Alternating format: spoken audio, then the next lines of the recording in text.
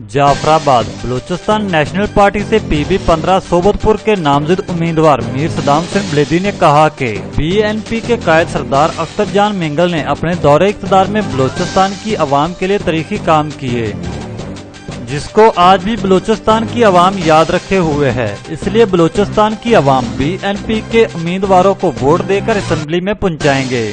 کہ بھئی جاگیداروں کے مقابلے میں جہاں پہ پیسے کی ریت پہ جہاں پہ پیٹرول پمپ فری کر دیے گئے ہیں، جہاں پہ لوگ جا رہے ہیں، جہاں پہ برادری پریشر گروپ پہ ہے۔ اس زمن میں ہمارا ان خیالات کا اظہار انہوں نے جعفر آباد کے صحافیوں سے اور الیکشن ورک ریلی سے خطاب کرتے ہوئے کیا۔